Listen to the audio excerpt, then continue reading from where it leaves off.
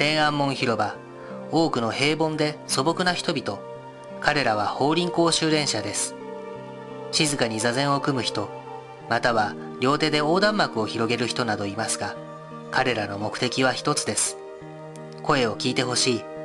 中国政府による法輪功修練者に対する迫害を停止し法輪功修練者に信念信仰の自由を与えてほしいということです。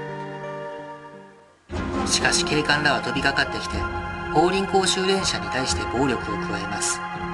警官が理性を失ったとしても法輪功修練者は反抗せず怒ってさえいません。彼らの表情は依然として静かで穏やかです。彼らがこうするのは真善任への信念からです。彼らは純粋なる善そして慈悲の力で人々の正義と領地を蘇らせようとしています。法輪功は良いものです。真善人には罪などありません。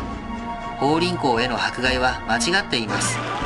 彼らは自らの血と命でそれを証明しています。しかし江沢民による暴政の下で善良な法輪功修練者に対する迫害は日増しにひどくなっています。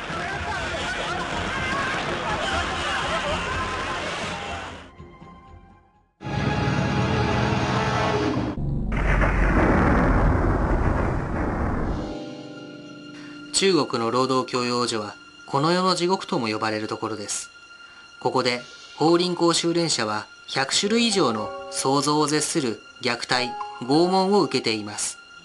法輪功修練者いや罪のない一般市民に対してどのような虐待がなされているのでしょうか。電撃棒電撃棒労働教養所の中で最も使用頻度が高い拷問が電撃棒です。30万ボルトの電撃棒を修練者の体の敏感な部位例えば口耳元顔胸などに当てます。数本の電撃棒を同時に使うこともしばしばです。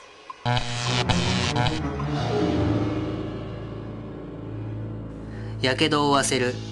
警官がタバコを修練者の顔に当ててやけどをさせます。これで顔はやけどだらけになります。その他真っ赤に焼けた鉄の棒を修練者の胸太ももに押し当てることもあります。丹英傑さんは重度のやけどを負いながらもなんとかアメリカに逃れることができました。病院は筋肉の深くまで届く重度のやけどが13箇所あると診断しました。強制食物注入。チューブを使って食物を胃に乱暴に注入することがあります。注入するものは塩水、トウモロコシ、刺激性薬物、洗剤、お酒、さらに大便などです。乱暴に注入されて注入物が肺に入って100人以上が死亡しています。王玉子さんは信念を放棄しないため、労働教養所に収容され、そこで残酷な食物注入を受けました。このために彼女はほとんど失明状態となり、生命の危機に瀕することになりました。死人ベッドダイノジータとも言いますが強制食物注入と一緒に用いることが多い虐待方法です。断食で講義する学習者を死人ベッドと呼ばれるものに縛って鼻から糊状の食物を強制的に注入します。これで命を落とす修練者も多くいます。日本の金子陽子さんはこの死人ベッドで20日間も拘束されました。解放された時背中の肉は腐っており歩くこともできませんでした。眠らせてもらえずに洗脳されたため目が見えなくなってしまいました。生爪に竹串を刺す。指先は中国で心臓につながっていると言われるほど痛みに敏感な場所ですがこれは生爪に竹串を刺すというものです。この激痛のショックによって命を失った修練者も多くいます。ベッドで押しつぶす。警官が修練者の両足を縛り両手を後ろ手に縛ります。さらにロープで首と足を縛ってほぼ窒息状態にします。そしてそのままベッドの下に押し込んで警官や囚人がその上に座って力いっぱい修練者の背中を圧迫します。長時間続けられると当然重大な怪我となります。虎の腰掛けこれも修練者を虐待するためによく用いられる警具の一つです。修練者は両膝を腰掛けに縛られ足首の下にレンガなどを入れられ膝に重いものを乗せられます。これは耐え難いほどの苦痛です。流星群さんは52日間もの間虎の腰掛けに座らせられ死亡しました。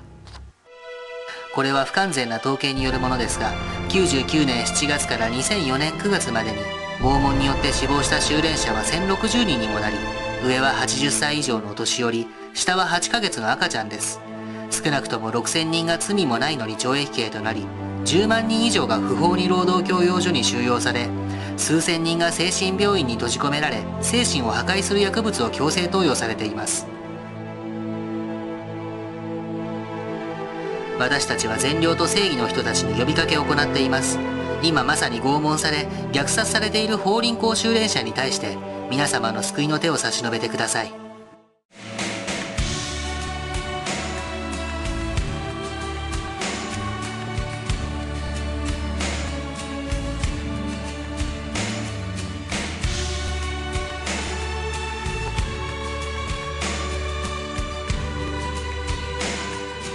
真善人の信念を守るため命を代償とした法輪功修練者に対して敬意を表します。